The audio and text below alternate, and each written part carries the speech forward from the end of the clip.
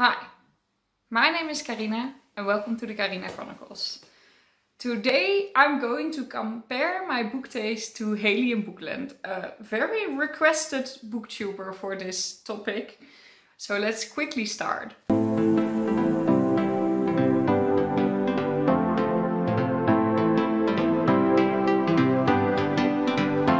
So since I have been comparing my book taste to other booktubers, Hailey has been requested several times by different commenters, different subscribers to me. But I always postponed it a bit because I really like her. It's one of the booktubers that actually got me into uh, booktube, making booktube myself. But she stopped rating books, which is uh, difficult for me to compare because I just use Goodreads to see which books were rated similarly and which books not so much and I didn't really commit to so much time putting into it and reading all her reviews and then see if books were similar or not. So I tried to save up some books that she mentioned during her videos and just go off of that. But recently Hailey hasn't been posting that much. And uh, when she posted, she didn't read that much, except for her last video, by the way. Uh, and therefore, when she read the books, they were also not similar to the books that I read. So I felt like I had no content when I was going into that. Uh, so I decided to just use Goodreads again and look at some books that we read um, less recently. So the books are maybe a little bit older on the other older side, Back in the time when Hailey in Bookland was still giving ratings to her Goodreads reviews. And but furthermore, it's just as all the other comparisons. So if you don't know, I really like other booktubers and I want to support them. Not that they need my support, but I just want to show if you like a certain booktuber, if we have similar taste or not. So for now it's Hailey in Bookland. I wanted to put her into the picture because it's almost Bookmas, which is the whole month of December. Hailey posts a video every day. So if you want to check out if Hailey is something for you, a booktuber you want to watch, December is the perfect month. So I was like, let's put her in the spotlight now, then you know where to go to in December if you really like it. But now, our taste in books. Let's quickly start with that. According to Goodreads, our taste in books is 76% comparable, which is not really high, but it's definitely not low. I do have to say that this is mostly because of a lot of popular YA slash children books we both read when we were younger. We are the same age, so we had the same youth uh, with books. and I think we both uh, drove apart after that with our reading tastes. So I think that if we would compare our taste now, it would be less comparable. But doesn't really matter because I still really love her content even though we don't have comparable taste. But 76% is not really bad. And two of the books that are more recent that we share our opinion about are books that we both really liked. The first one I want to mention is Valiant by Lesley Livington. Livingston, sorry. And this book is about a female gladiator in ancient Rome that, well, she wants to rule the world actually. and she's doing pretty great at this school for women gladiators. And it is, how would you say it? It is more like an historical fiction but YA fantasy made. And that is really awesome. She's, by the way, abducted. She doesn't really want to be a gladiator, but well, the moment she gets abducted and gets thrown into this uh, school, she wants to be the best and she is very, very powerful. We both rated this four stars and I can't believe I haven't picked up the sequel yet because I was so, so happy when I read this. I needed more female characters like her. I really liked her. And the historical fiction in Rome, it's also really something for me. So yeah, if it's also something for you, pick it up. Hailey and I both love it. And maybe this is like a common thing because I know Hailey loves historical fiction and I do as well. And it's no surprise that the other book is also an historical fiction, being The Gentleman's Guide to Vice and Virtue by Mackenzi Lee. We also gave this book four stars, both of us. And this is also a historical fiction, but taking place in the 1800s, uh, the 18th century, so the 1700s. And we're following this guy named Monty, who is uh, the heir of a very, very, very rich family. And he doesn't really have a supporting family of his needs and wants. He just needs to be the perfect heir. heir. So he decides to do everything he's not allowed to do. He's being a pain in the ass. but it's really enjoyable to follow and he has this amazing crew of friends uh, with, with whom he goes on an adventure. It also has LGBTQ plus representation, people of color and that is also something rare in historical fiction. So this one is very nice for a change. I also need to read the sequel of this. It's less bad that I haven't read it yet because I just finished this book. But the second part is about his sister and that's also a very strong independent woman that I want to read more about. And then two books that we both were not really a big fan of. And one of those is actually a book that we were both surprised about because everything in there sounded like something we should like, but we didn't. And that is Serpent and Dove by Shelby Mahurin. Maybe, maybe this also comes out of like historical fiction because um, this could have been historical fiction if it was more accurate. And maybe that's why we didn't like it because we're both fans of historical fiction. And this one is about witches, but witches are portrayed very weird. And obviously because it's actually a fantasy, the witches really are witches. they use magic. The magic system is kind of interesting, but not really worked out very well. I didn't like the characters and I also really didn't like how the women were portrayed in this. And I know it's kind of how it was back then.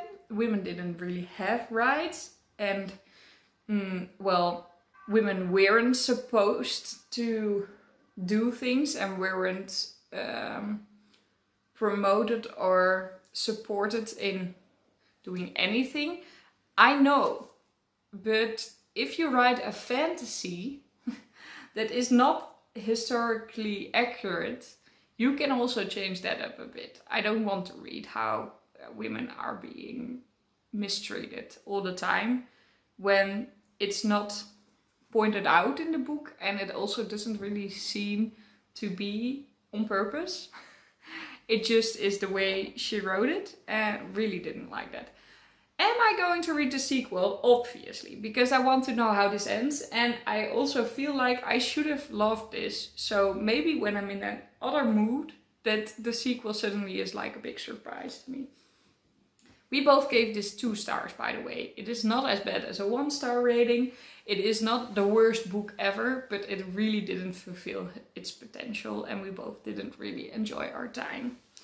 A book that we didn't rate exactly the same, but uh, our point of view is kind of the same, is uh, Levana by Marissa Meyer. I believe the English title is something like Fairest Mm, fairest, yes.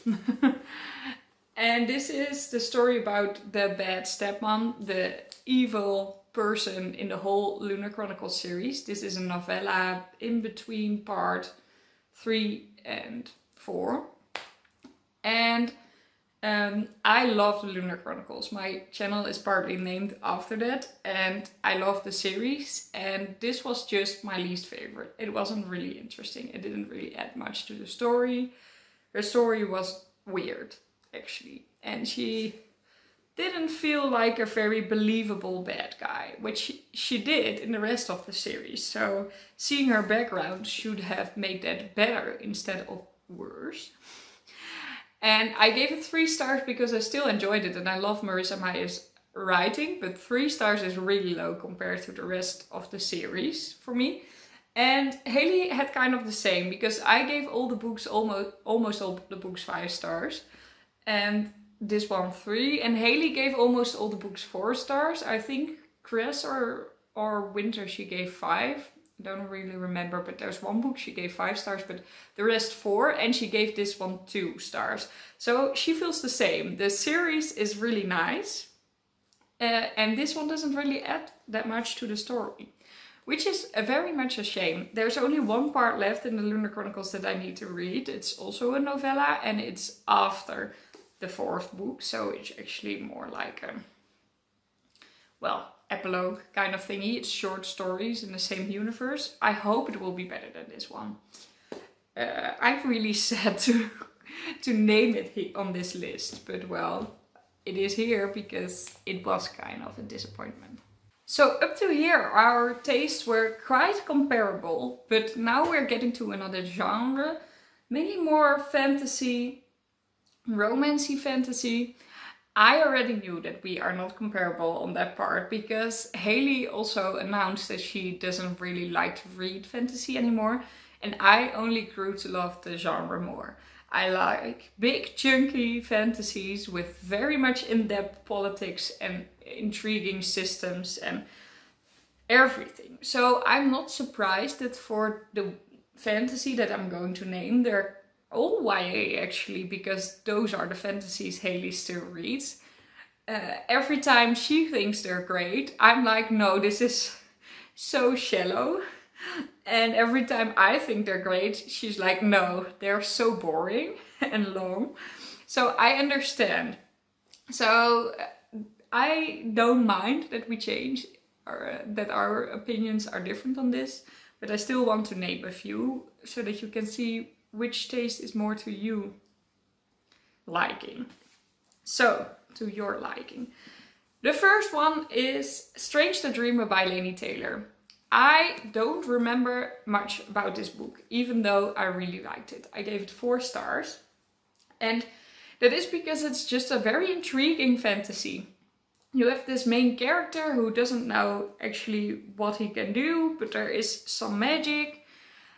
There's a, a lost city that they try to recover and a journey and some political intrigues and I don't really remember, but I do remember that the writing was really pretty and that I felt like I was on an adventure. And I think that is for me the most important thing in fantasy. But I can also understand that that might be boring for some people, as it was for Hailey, who couldn't really get through this and gave it two stars. I love the, this kind of writing and that you just feel like you're in the story. But afterwards, if people ask you what did you like about it, you don't even know. I love those. But I can understand that she didn't. And one that is mm, a little bit of cheating? Well, actually two books that I'm now going to mention are a little bit of cheating because I usually don't mention books that I haven't read since September 2018 because I haven't written a review about them. So if I like books a lot and I want to be able to talk about them on my channel, I reread them first so I can write an honest review on the book and then talk about it with more reasoned and more elaborate thoughts. And now I'm going to name two books that I didn't read since then, but I want to reread to see if I still think they're good because they're like you favorites, but they're probably bad. so the first one of that is New Moon in the Twilight series by Stephanie Meyer. I rated the whole Twilight series 3 stars, but I have to admit, I think when I was younger, I enjoyed them far more than 3 stars. And 3 stars is just based upon how I now look back at them and think they would be, but I actually need to reread them and really find for myself. Um, Hailey did the same and Hailey rated all the Twilight books except for the first one one star. So really, really bad. And I saw that and I really needed to laugh about that. I was like, okay, I need to reread this. and figure out myself if they're really that bad. And the same thing holds for the book Beautiful Creatures, which I really can't remember anything about, but I gave it three stars and she gave it one. And I do want to reread that book and also compare it to the movie because I think the movie of that book was really bad, right? Or there was something with it. So need to reread these books to actually be able to say if I still like them. I can say this might not be the best way to show you what is my taste and what is hers. Strange the Dreamer I really loved. Twilight and Beautiful Creatures are books I could have loved. But I wanted to show you some books that I like more than Hailey did and most of the books Hailey liked more than I did. So those are the books we're going to talk about now. The last three books I want to talk about are books that I thought to be very bad. and Hailey apparently liked. And they are actually more recent, so I'm really surprised that this is something she might like. The first one is a book I can't get over that people would actually like this. It's Obsidian by Jennifer L. Armentrout. I need to read two more books by her for a book club. And I've been really dreading it, putting it off, because if you can write such a bad book, how can I how can I be convinced that her other books are good? I don't know. This is a paranormal romance, that doesn't help. That is my least favorite genre, but well, the only reason I gave this two stars instead of one is probably the cover because I'm in love with it. I really like the cover, even though you already can see that this is a genre that is not for me. I just really like the blue. and I don't know what she liked about it. I mean, maybe she thought it to be cheesy and like feel good or something, but it wasn't even that because it didn't feel good. Like it's not like everything went fine and it was comedian or anything about it. It was just a romance, but it wasn't really steamy or smutty. So I don't know what would be in this book that could make people like it, but I am definitely uh, on the unpopular side with this. And the other book, oh, she gave it four stars, by the way. So that's pretty high rating. Another book that I'm definitely on the unpopular side is A Court of Thorns and Roses, which I gave three stars, which is fine. I mean, it's fine. It's a Beauty and the Beast retelling, so if you know that, you know how it will go. Uh, but then with some Sarah J. Maas sauce over it, which doesn't work for me because I don't like her writing. So is this a bad book? Probably not, but I was like, okay, it's fine. But if a first part in a series is three stars, that's usually not a not a good sign because I tend to like the first part the most because that's when you dive into a new world. And uh, well, this world Maybe this will get better. I will read more of this series because I just want to know. And maybe it will get better because this was the retelling part. So you knew what was going to happen because it was still quite similar to Beauty and the Beast. But after this, it will be a different story. So maybe it will get better. Hailey gave it five stars. Like, this is really one of her favorite books. And I don't know if that would still be the case if she read it now but I'm still surprised. How could you give this five stars? I know I'm on the unpopular side. Please roast me in the comments. It's fine, but five stars can't help but feel very much surprised by that, to say the least. And then the last book is A Song Below Water by Bethany C. Morrow, which is a very recent book.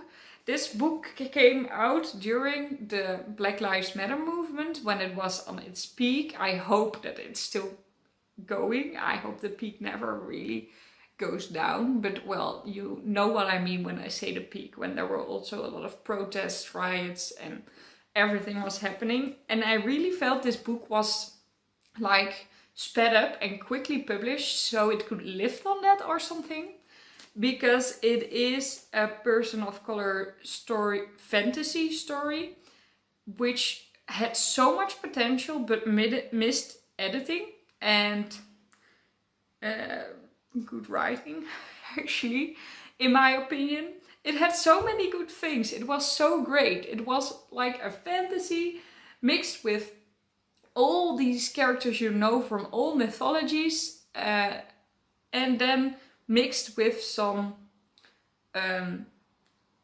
talk about racism and teaching you things about how it feels and what it can do to people. So this could have been a very important book, but I honestly feel like it was rushed because the perfect moment to publish it when was, was when the whole world wanted to know more about racism in the world, in the current modern world. And I truly feel like that. I and when I'm saying this now, I feel like a horrible person because that sounded too harsh. But I I do mean it. I do mean that this has so much potential and could be such an important story, and uh, it doesn't feel like a surprise that it was published immediately then. And I think it was rushed. I would have loved it more if it was more worked out and had some more editing rounds. Uh, Hailey doesn't agree. She gave it four stars. I gave it two stars. And the two star was actually for all the potential it had. This could be like the hate you give, but then uh, in a fantasy world. And that is so important and so beautiful. And I was so excited. And this was just such a disappointing story because of the writing, because they uh, they suspected you to know all the mythological creatures, which not everyone knows of. So it was very confusing. And the racism also wasn't shown very well. So, yeah. It is a pretty book. It is, but that's it. well, ending on a high note, uh, apparently. So those were actually the books that I wanted to talk about. Books we have similar taste in and books we definitely don't have similar taste in. Let me know down in the comments below which of us you agree most with because I'm very curious to hear. Please check out Hailey's channel. In December she will post videos every single day so that is really really impressive. I won't so if you then like need videos you can watch her. I will post videos though and they are very interesting so keep an eye out for that. I really hope you liked this video. You can check out the other comparison videos that I did. Please let me know which booktuber I should do next. I'm kind of through the booktubers that I really follow very closely. So if you have a suggestion, please say so. I hope you liked this video. If you did, please leave a like. And if you subscribe to my channel and click the notification bell, you will be notified whenever I post a new video. I hope you have a lovely day filled with books and I'll see you all in my next video. Bye! I would definitely like to know a new booktuber to compare myself to because I'm kind of through my most watched booktubers. Let me know which one you would like to see. What is your taste comparable to?